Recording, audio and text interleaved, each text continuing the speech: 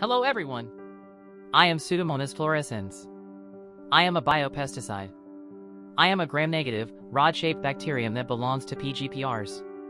When you spray me over the plant, I can control pathogens through amensalism. I will colonize the plant roots and prevent the establishment of other harmful rhizospheric microbes through competition for favored sites and nutrients.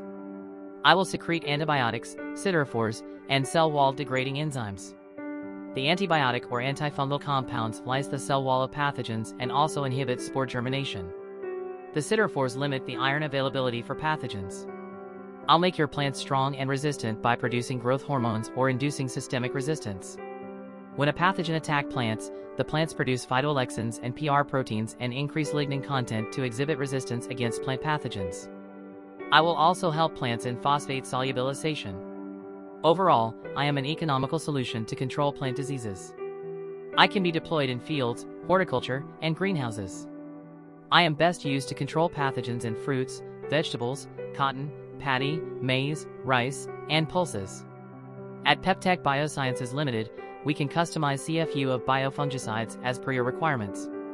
Thank you so much.